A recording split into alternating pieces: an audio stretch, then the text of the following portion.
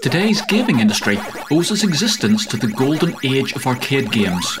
So let's find out where it all started.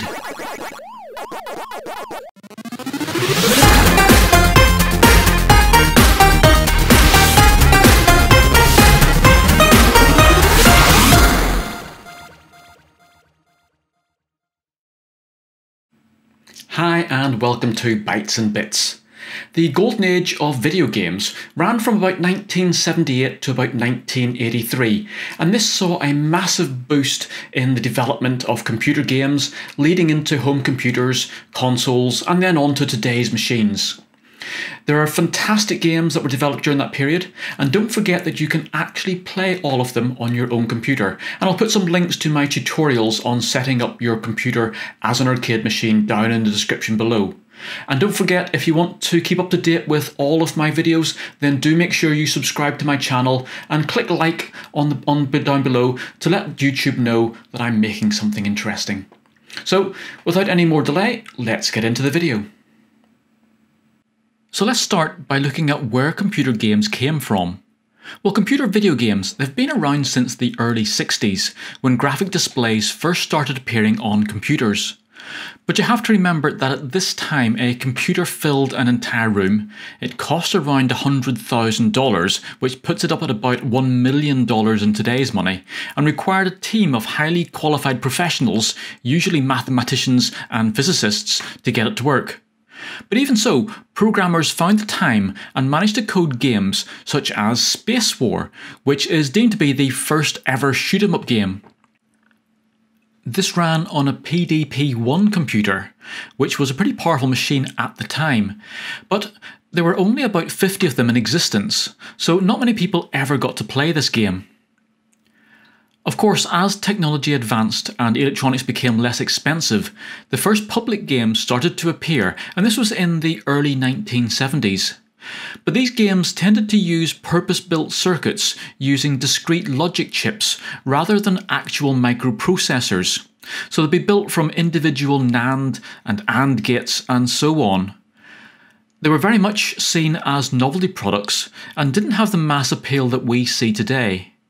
Now, notable games from this period were Computer Space, which was basically a remake of Spacewar, which was deemed to be the first electronic arcade game, and Pong, which is probably the most successful game of this period, which was a simple machine that simulated a game of tennis, again, completely built using discrete logic chips. But at this time, the gaming industry was exceedingly small. For instance, the game Pong, over its entire lifetime, only sold around 20,000 units. And this was partly due to the limited gameplay of these TTL logic based games, and also the actual cost of manufacturing and owning the machine. But then, in 1978, this all changed with the release of a brand new game called Space Invaders by Taito in Japan. Space Invaders actually was a real game changer, both in what a computer game was and who was playing it. Microprocessors, which are the actual brain of modern day computers, were now becoming available at a reasonable cost. And these allowed game developers much more incredible scope to code games compared to using discrete logic circuits. And Tomohiro Nishikado, I hopefully said that correctly, the inventor and programmer of Space Invaders, he took full advantage of this. The inspiration for Space Invaders was actually a game called Breakout, which was a variation on the original game called Pong, where uh, you had the player had a bat and a ball was bouncing on the screen, and you then had to hit the ball against a number of coloured bricks at the top of the screen, and each time the ball hit a brick, that brick was destroyed. But Tomohiro took that idea and then developed into a truly revolutionary design. So, he allowed the player ship along the bottom of the screen to fire missiles rather than bouncing this ball. He then had the bricks replaced with moving enemy ships. And these enemy ships not only moved, but they were actually able to fire back and try and kill the player as well. These aliens then were moving across the screen, and as they moved across the screen, when they hit the edge of the screen, they then moved down. So they gradually moved down the screen in this sort of zigzag pattern. He also added some protective bunkers that the player could hide behind, but these were then gradually destroyed by both the alien missiles hitting them and also the player missiles. He also added a high score counter for the highest score since the machine had been turned on, and that was a first. And he also then added the first continuous background music track to a computer game. Okay, so this was a very simple track with only four um, notes, but it got more and more intense as the level progressed, which helped build up the whole atmosphere behind this game. A lot of this had never been done before, and a lot of it hadn't been done because it hadn't been possible with previous arcade machines. Indeed, the game developer he rated the design of the hardware as one of the most difficult parts of the project, trying to build a machine that was capable of actually running his game. So combining all of this with the outstanding gameplay, this ensured Space Invaders became an instant success across Japan. As a guide for just how big a success Space Invaders was, if we consider Pong, which was the best selling game up to that point, which sold around 20,000 units, Within the first two years of Space Invaders launch, it's estimated that around 750,000 units were sold. The success of Space Invaders sparked an explosion of video game production. Every company wanted to emulate this success and the massive profits being pulled in by Space Invader machines. And, as we say, the rest is history. So, let's take a look at some of the biggest and most influential arcade games of the early 1980s which helped launch this golden age of video games. So, where better to start than, of course, with Space Invaders itself? As we've already discussed, this was the first blockbuster arcade game that almost single handedly launched the video game revolution. The basic premise of the game is quite simple. Rows of aliens start at the top of the screen, marching side to side and descending as they reach the edges.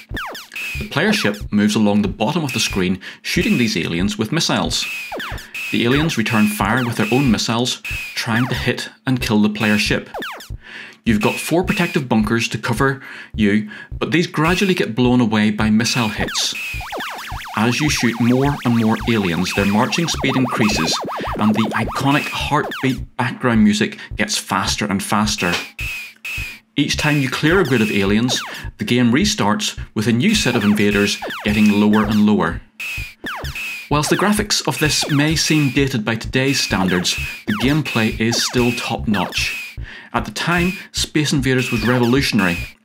I vividly remember my big brother taking me to his police station where they had just had a game installed. I'd never seen a computer game before, and the graphics, sound, and excitement is a memory that will stay with me forever. Almost every computer game since Space Invaders owes at least part of its genesis to this game.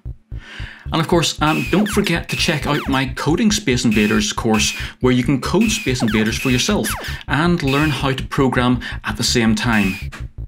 And I'll put links to that in the description below. Space Invaders' financial success was also massive with owners of machines collectively gathering over 2 billion in coin sales, which gave them a profit of over 450 million. And this was the first time that a computer game really compared with blockbuster movies, and it compared with Star Wars, the biggest movie up to that point, which grossed 450 million with only about 175 million in profit. And of course, these massive profits were a big incentive for lots of other companies to jump on this bandwagon and build their own games.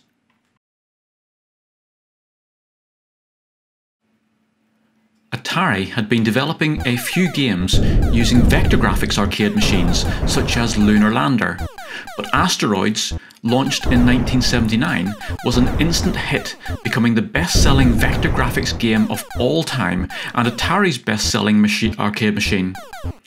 Vector graphics machines use the electron beam inside a cathode ray tube to draw lines directly on the screen, forming the game elements. So this allows the game characters to smoothly rotate and fire in any directions, which is something that's very hard to achieve with the more traditional pixel-based graphics. The Asteroids game involves a player ship stuck in an asteroid field. It must use its laser cannon to break up the asteroids into smaller and smaller pieces until they finally disintegrate. As the asteroids break up, they become harder to shoot and to avoid. So the player controls consist of a rotate left and rotate right button, a thrust button, a fire button, and a hyperspace button. You use the left and right buttons to control the direction the ship is pointing in, and the thrust button to increase its velocity in that direction.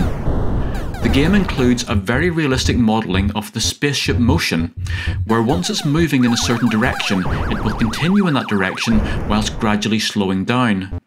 Thrusting in a different direction simply adds velocity in this new direction, causing the ship to fly in curves rather than simply changing direction to the way it's pointing. So this was one of the first ideas of modelling physics inside a game. As an added hazard, enemy spaceships will appear as each level progresses. These try to shoot you as they move across the screen. If you want to have a go at coding asteroids for yourself, I've produced a course on this available on YouTube here, so have a look at the Learning to Code Asteroids course.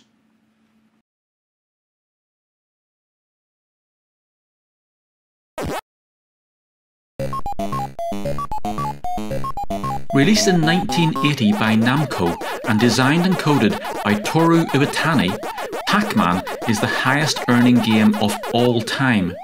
It was the first character based game to be released, allowing it to appeal to both men and women, rather than the then predominantly male focused shoot 'em up games that had taken over since Space Invaders launched.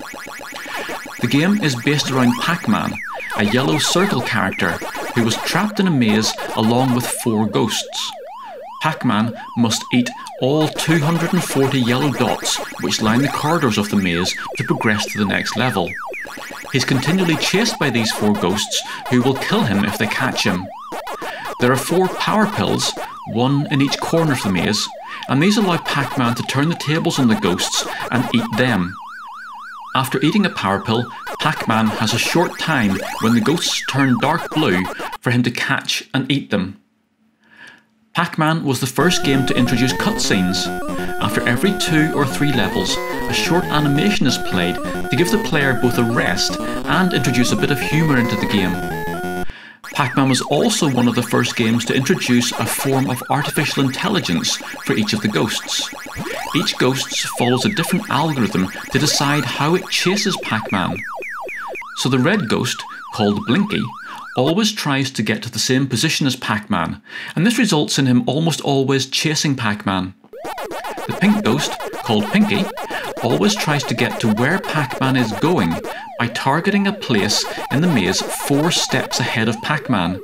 This results in him blocking Pac-Man's escape when being chased by the other ghosts. The blue ghost, called Inky, has a slightly different way of targeting Pac-Man. He uses the position two paces in front of Pac-Man, along with the position of the red ghost Blinky, to create a new target position that he tries to get to. This results in Inky trying to get to the position which Blinky is chasing Pac-Man's toward, again meaning that he will quite often trap Pac-Man. The orange ghost, called Clyde, uses two separate algorithms. When he's far away from Pac-Man, he uses Blinky's, well that's the Red Ghost's algorithm, to chase uh, Pac-Man and get as close to him as he can. However, once he gets within 8 spaces of Pac-Man, he starts returning back to his home corner. Again, once he gets farther than 8 paces away from Pac-Man, he returns to chasing him. So this results in a slightly more random movement pattern, where he is generally hovering around the vicinity of Pac-Man, but not directly targeting him. The total sales for Pac-Man units was about 400,000 units, which was less than Space Invaders, but the actual machines brought in, in total, $6 billion in the early 80s, which is worth about $16 billion in today's money. And again, that puts it at the very top of the earnings lead for any arcade machine ever produced.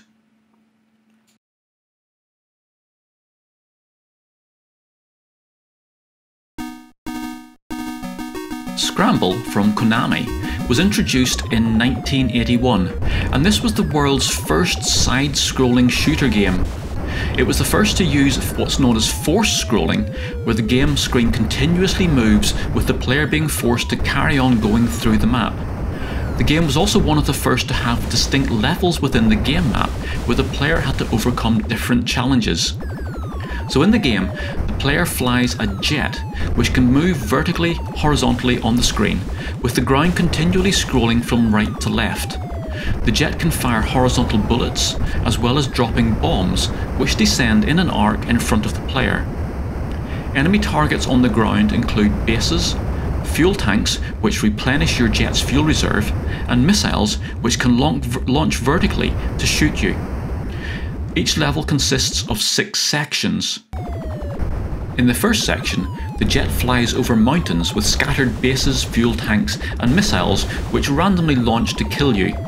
In section 2, the player flies through a cave with UFO ships oscillating up and down. These have to be shot or avoided while still bombing ground targets to replenish your fuel supply. Section 3 sees you flying through an asteroid storm where you can't actually shoot and kill the asteroids. You have to avoid them, again, still keeping going and getting your fuel replenished. Section 4 is the city level where the player flies over a cityscape with the usual ground targets and missiles. This is then followed by the treacherous machine tunnel stage, where there's only just enough room to manoeuvre the jet through the passages, and then finally on to the base section, where the jet must attack the enemy base and destroy it. Then it's back to the start, uh, section 1, but faster and harder.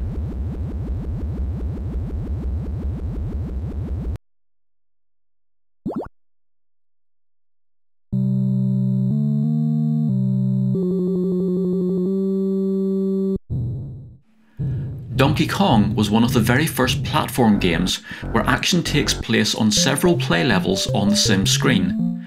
It followed Pac-Man's lead by featuring a friendly, comic character as the player, and he was initially called Jumpman, but obviously in later versions he became the infamous Mario. Again, the novel gameplay, four different game screens, each with very different playing styles, and a constantly hectic gameplay made this one of Nintendo's first big hits. On the first three screens, Mario starts at the bottom and must battle his way to the top of the screen to save the girl. On the way, he has to dodge barrels, fireballs, and other objects, whilst making pixel perfect jumps to overcome various obstacles. On the fourth level, Mario must pull out 8 connection bolts holding Donkey Kong's platform. When he manages this, Donkey Kong falls to the ground, defeated, and Mario finally gets the girl. Then, the whole four levels restart, but faster and more difficult. Incidentally, Mario started life as a carpenter in Donkey Kong, and this is indicated on the arcade machine's flyers. He only changed profession to plumbing when he got to go to Super Mario Bros. in 1983.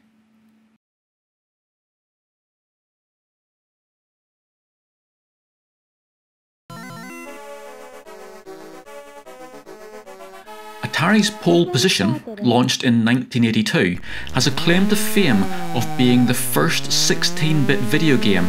It used Namco's new 16 bit arcade cabinet. It's also one of the first games to use a third person 3D view, and one of the most popular and influential racing games of all time. This third person view became the norm after Pole Position, rather than the more usual top down 2D racing games that had come before it. Personally, I'd have to say that the gameplay is good, if not outstanding, but the 3D effects were amazing for the time. Not true 3D, but a clever use of layering and sprite scaling to give a great impression of a real racing track. The system works by dividing the ground between the player and the horizon into horizontal strips. For each strip, the computer works out how far from the player the strip is and then calculates which parts of its length should be grass, verge and road. When you then draw the strips, you get the 3D vanishing point effect. Car and sign sprites are then scaled and placed on top of the strip that matches their distance from the player. The arcade machines came in standard upright cabinets and enclosed seated cockpit versions. Each had a full-size steering wheel, a high-low gear shift lever and an accelerator pedal, and the sit-down version, which would look like a, a car cockpit, also had a brake pedal. The game simulates a Formula 1 style, well at least 1980s version of Formula 1 race, with a qualifying lap followed by the race itself. In qualifying, you must get round the track in the allotted time to earn your place on the grid. If you don't qualify, you simply continue driving until your time runs out. If you do qualify, you progress to the race, where you race against seven CPU controlled cars. You must complete each lap within the specified time, and if you manage all four laps, the race ends. Pole Position's 3D third person view set the standard for almost all racing games to follow, Outrun, Daytona, Sega Rally, Crazy Taxi, and many more, right up to today's console games.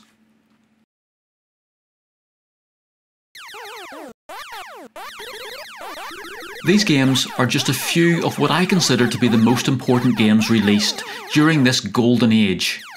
They created and introduced a wide range of game genres and playstyles, and helped drag computer gaming out of the tech world and into everyday life. Without their contribution, the games we have today would not exist. If you lived through this period, I hope this brings back fond memories. If you didn't, then you really have to try out these games for real. If you can get to a computer game museum, please go. You can't beat the look and feel of a real arcade cabinet. If not, give emulation a go and turn your computer into your very own arcade machine. With this you can run the real code from the real arcade machines. So have a look at my gaming tutorials for full details on this, and I'll put links in the description below. If you've enjoyed this trip into gaming history, then please do give me a like and make sure you subscribe to my channel to get all of my other videos. So I hope to see you again very soon. Bye for now. For more games programming, electronics projects and retro gaming, Please make sure you like this video, subscribe to my YouTube channel and visit my website.